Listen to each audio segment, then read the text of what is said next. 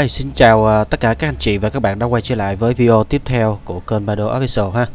Thì uh, ở video này mình sẽ chia sẻ về cho các anh chị về cái hệ màu trong uh, uh, Corel X7 và các cái công cụ uh, tô màu ở trong Corel. Thì các anh chị biết khi là các anh chị bật lên uh, cái phần mềm Corel thì đối với theo mặc định á, thì nó sẽ hiện ở bên phía bên phải à, bên phía bên phải màn hình đây thì nó sẽ hiện một cái, cái bảng màu à, để cho chúng ta lựa chọn rất là nhiều màu. Thì đối với trong hệ màu à, trong thiết kế thì nó có theo hai cái hệ màu chính. Đó là hệ màu RGB và CMYK đối với hệ màu RGB á, thì người ta hay sử dụng cho những cái màu à, à, cho web nhiều hơn. Ví dụ những cái trang web thì người ta hay thiết kế về theo cái hệ màu RGB còn đối với trong in ấn á, thì người ta hay sử dụng màu CMYK thì để mà muốn chọn ờ, hệ màu thì các anh chị vào trong ờ, uh, Windows à, ờ, các anh chị vào trong cái phần uh, Color Palette. Thì nó sẽ hiện ra một cái bảng thế này. Thì các anh chị sẽ thấy trên đây nó có rất là nhiều hệ màu ha. Thông thường nó là cái hệ nó sẽ mặc định cho chúng ta là hệ màu default ha. Nhưng mà các anh chị muốn chọn màu CMYK thì nó sẽ đây nè nó sẽ hiện ra một cái bảng CMYK và khi mà chúng ta muốn uh, di chuyển cái bảng này ra xóa một trong hai à, một bảng thì chúng ta sẽ kéo cái bảng này ra như thế này ha.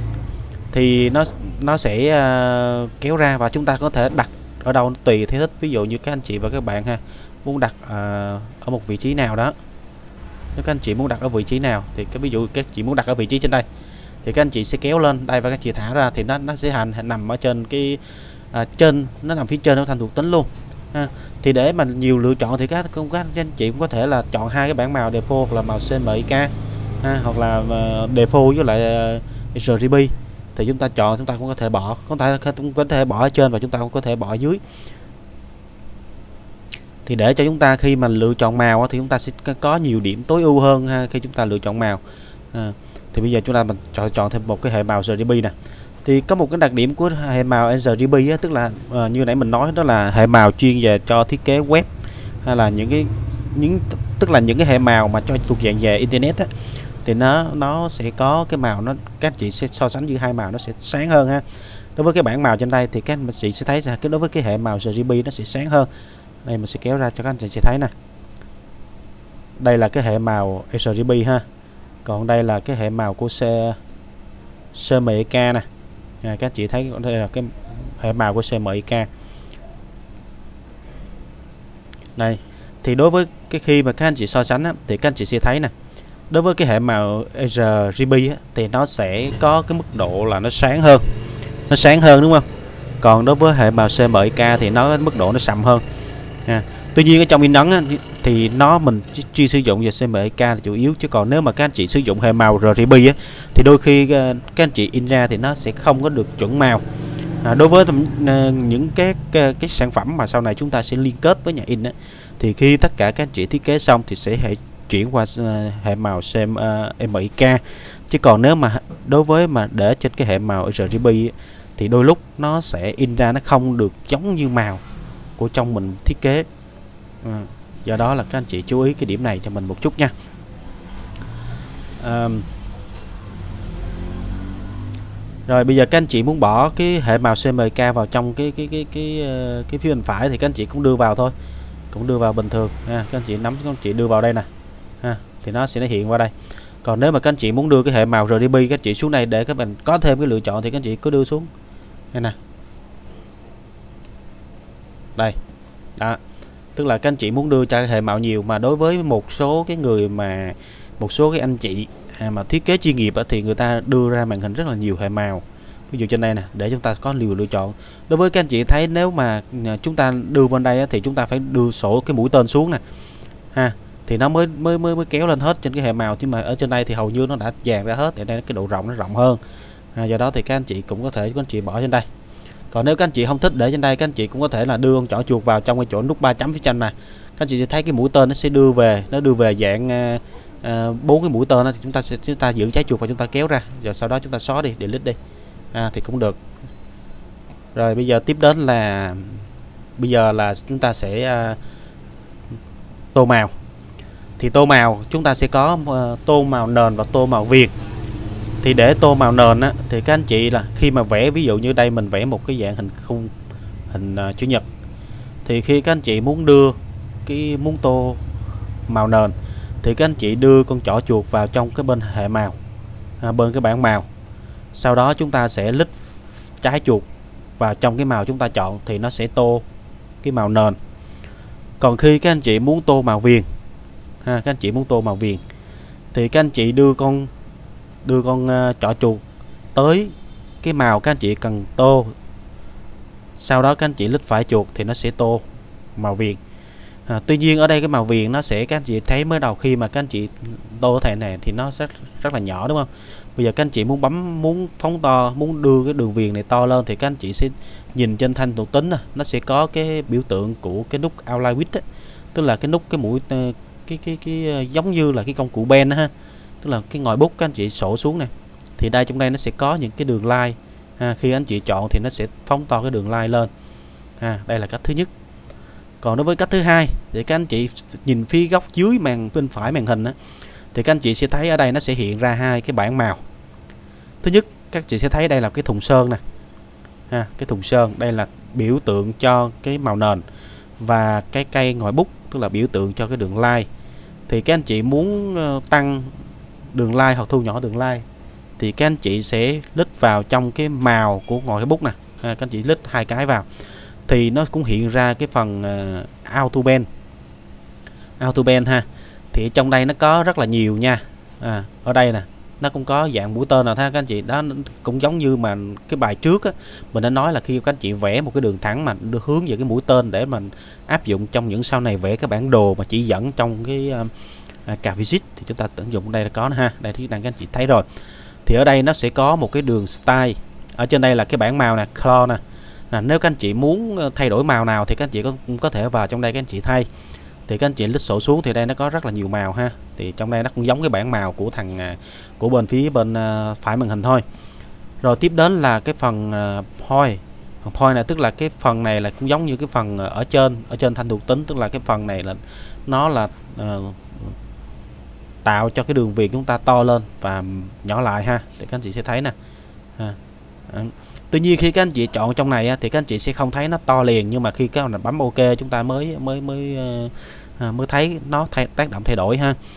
Thì uh, tuy nhiên ở đây nếu mà để cho cái đường line này nó mịn hơn thì các anh chị sẽ chú ý cho mình đây nè. Tức là đây cái nó làm cho những cái đường line của mình nó có thể mịn hơn. Ta sẽ chọn vào đây. Mình thì hay chọn chọn đây nè. Trong cái ờ, run ờ, corner nè. À, tức là cái điểm cái điểm mà của đường line mình nó sẽ tạo thành một cái đường tròn và nó nó nó sẽ tạo ờ, mình sẽ bấm đường like cap lại nữa. Thì uh, các anh chị sẽ chọn vào trong đây cho mình. Tích vào trong holo cho mình. Thì khi mình bấm ok thì cái cái đường like của nó sẽ, nó sẽ tạo thành nó giống như nó nhuyễn hơn. Còn nếu mà các anh chị không có có chọn thì các anh chị sẽ thấy nè tức là nó sẽ vuông ha. Cái mấy cái góc này là cái đường nó sẽ vuông. Tuy nhiên các anh chị chọn vô trong cái thêm cái phần này nè tức là cái góc này nè thì nó sẽ sẽ dịu hơn mà mình hay sử dụng nhất. Đây là nó sẽ dịu hơn nè tức là nó bo tròn nè. Ha bo tròn bo tròn nha. Còn các nếu các anh chị không thấy thích bo tròn thì các anh chị chích vào trong nút uh, tam giác nè. Đây đây các anh chị sẽ thấy góc không? Cái góc nó, nó, nó, nó ấy vậy. Thì mình hay sử dụng mình hay sử dụng nhất á, là ở trong cái ờ, phần lựa chọn này. Đây là phòng vuông góc đây là ờ, uh, góc bầu và đây là góc góc góc vát ha rồi đây là cái thông số là cho nó vác nè. Ha, thì các anh chị cũng có thể là à, chọn những cái thông số dưới đây nè chọn những cái đường like cap này theo sở thích của tất cả các anh chị nha. Đó các anh chị thấy không? thì nó cũng tương đương như vậy thôi. Đó là về phần tô màu. Còn bây giờ đối với thi mà các anh chị giữ làm làm rất là nhiều đối tượng ví dụ trong đây các anh chị làm à, rất là nhiều à, đối tượng màu ở trong à, trong cái bảng màu trong hình vẽ của chúng ta ha. À, bây giờ ví dụ như chúng ta chọn một cái đối tượng chúng ta vẽ một cái đối tượng ờ, đa giác. Chúng ta sẽ vẽ một đối tượng đa giác này. Các anh chị ờ, muốn ờ, tô màu cho cái đối tượng hình đa giác này giống cái màu cái ô cái hình chữ nhật của màu đỏ và cái điện điện điện lai xanh đậm này thì các anh chị à, cách thứ nhất thì các anh chị làm thủ công thì các anh chị sẽ đưa vào ha, sẽ đưa vào mũi tên vào trong cái uh, bảng màu ha chúng ta chọn à, phải chuột và trái uh, trái chuột và phải chuột thì chúng ta tốn chúng ta tô đường line đúng không? Ha đây là cách thứ nhất. Cách thứ hai các anh chị sẽ uh, sử dụng cái uh, cái công cụ color ha cái color color này uh, color A này a tool này tức là nó giống như một cái cái uh, bút hút mực giống như một cái cái xi hút á. Thì các anh chị khi mà lít vào cái cái công cụ này đường chọn chuột vào công cụ này các anh chị lít trái chuột một cái thì nó sẽ hiện ra một cái cây à, cái ngòi bút ờ, hút này. Thì các anh chị đưa vào. À, các anh chị đưa vào trong cái đối trong cái cái cái màu mà chúng ta cần hút. Sau đó các anh chị tích trái chuột một cái thì nó sẽ hiện ra một cái thùng sơn. Ha các anh chị thấy nó hiện ra một cái thùng sơn không? Sau đó các anh chị di chuyển cái thùng sơn đưa qua bên cái phần à, hình mà chúng ta cần tô thì nó có hai dạng. Thứ nhất khi các anh chị đưa vào đưa vào trong cái hình cần tô thì nó sẽ là tô hình nền. Còn nếu mà các anh chị đưa vào trong đường line thì nó sẽ tô cái đường line. Ha. Đây nè các anh chị đưa vào các anh chị sẽ thấy không? Nó sẽ hiện cái đường line nè. À, nhưng mà cái đường line của nó sẽ là tô màu đỏ nha. Nó sẽ tô màu đỏ luôn chứ nó không phải tô màu à, màu xanh nữa. Còn nếu các anh chị muốn tô màu xanh thì các anh chị làm thêm thao tác các anh chị sẽ hút lại màu xanh và chúng ta đưa qua đường line. Thì đây là hai cách. À, bây giờ chúng ta sẽ đổ nè. À, bỏ qua. Bây giờ các anh chị sẽ thu bắt đầu sẽ đưa vào cái công cụ Piston để bỏ chọn đối tượng sau đó chúng ta sẽ tiếp tục chọn lại cái phần à, đường đường line nè. À, chúng ta sau đó chúng ta sẽ đổ vào trong đường line thì nó cũng sẽ ra à, nó cũng sẽ ra cái à, cái cái màu. À, đây là cách thứ hai. Cách thứ ba thì chúng ta các anh chị sẽ thấy nè ở vào phía trong à, ở trong cái phần công cụ Color iTunes Tool luôn. Thì các anh chị à, có một cái mũi tên đen ở trong đây nè các anh chị lít trái chuột vào thì nó sổ ra. Thì nó có một cái công cụ gọi là Attribute ha Attribute ở à, nằm phía dưới đây thì các anh chị lít vào. Thì khi mà lít vào các anh chị sẽ di chuyển tới cái phần mà hình cái cái đối tượng bản màu chúng ta cần muốn chúng ta lấy thì các anh chị sẽ thấy có một cái mũi tên hút cũng giống như cái phần trên. À, các anh chị lít trái chuột vào các anh chị đưa vào. À, khi cái các anh chị lít trái chuột vào thì nó sẽ không có hiện là cái màu nào. À, tức là nó không có hiện màu đỏ hay là màu màu xanh ha nhưng là nó chỉ hiện ra cái thùng sơn khi mà các anh chị đưa vào đưa qua bên phía đối tượng này. Thì các anh chị tô thì nó sẽ tô nó sẽ lấy nguyên bản của cái màu phía bên trên này nè. Nguyên bản của cái màu xanh và cái viền là viền ừ, xanh đậm, thì nó sẽ tô y như cái cái màu phía bên đây đưa qua cho đối tượng này. Ha, đó là cái cách tiếp theo. Rồi còn một cách nữa, còn một cách nữa các anh chị có thể thực hiện được, đó là các anh chị sẽ đưa con chỏ chuột, ha, các anh chị đưa con chỏ chuột vào trong cái phần màu mà chúng ta cần lấy. Ha, sau đó các anh chị lấy, các anh chị lít phải chuột, ha cái sau đó các anh chị phải chuột các anh chị kéo qua bên bên cái hình á, mà chúng ta cần tô á. sau đó các anh chị thả chuột ra ha thả chuột ra. Thì các anh chị sẽ thấy nè nó sẽ hiện ra một cái bảng như thế này. Thì các anh chị sẽ thấy trên đây nó có phần là uh, copy here copy fill copy outline ha, và copy all tức là ở đây là copy fill này là copy uh, chỉ copy copy cái cái cái cái màu nền thôi. Còn đây là copy cái màu viền và đây là copy tất cả nếu mà các anh chị muốn copy tất cả thì nó sẽ hiện vào tức là nó cũng phải tô luôn. Ha các anh chị thấy nó tô luôn là nó có viền ở đầu luôn ha. Còn nếu mà các anh chị à, kéo qua các chị thả mà các anh chị copy chỉ có fill thôi thì nó chỉ có tô cái màu nền tô màu nền cho đối tượng. Sau đó các anh chị mà copy cái outline thì nó chỉ cái, cái copy cái, cái cái đường viền thôi. À, đây là một cái chức năng nữa à, cho chúng ta copy trong cái hệ màu. À. tuy nhiên các, các anh chị sẽ thấy như thế này đối với một cái hình mà chúng ta lấy từ trên website ha à, trên Google hay là trên web một cái website đó chúng ta lấy vào chúng ta copy vào trong uh, cái phần uh, Corel. Thì khi các anh chị đối với làm những cái cách mà chúng ta đưa cách thứ năm chúng ta đưa vào á thì chúng ta copy á ha thì nó sẽ không có copy được uh, màu cho chúng ta. Mà chỉ chúng ta chỉ có chọn cái công cụ uh, tức là chúng ta chỉ có được chọn cái công cụ của thằng Color A thôi. À, chúng ta à, khi các anh chị đưa vào đưa vào. Thì các anh chị sẽ thấy là đây là cái hình cái hình trên website á cái hình website trên lấy xuống á đây là cái hình nó có cái hệ màu RGB này là các anh chị đưa con trỏ chuột tới đâu thì nó sẽ hiện cái thông số màu ở cái vùng đó nè thấy không? Ví dụ như cái màu RGB ở đối với vùng này các anh chị thấy không? RGB nè. À, tuy nhiên á, để chuyển cái hệ màu của cái đối tượng này, cái đối tượng hình này sang MIK thì trước tiên các anh chị phải lít vào trong đối tượng cần chuyển. Sau đó các anh chị vào trong cái menu lệnh là bitmap à ha bitmap các anh chị lít trái chuột vào, sổ xuống và trong đây nó có cái phần là more ha, phần more thì trên đây nó sẽ có cái hiện, nó sẽ có cái hệ màu CMYK 32 bit nè. Ha các anh chị lít vào. Thì các anh chị sẽ thấy cái màu nó sẽ sầm lại một chút ha. Màu một chút.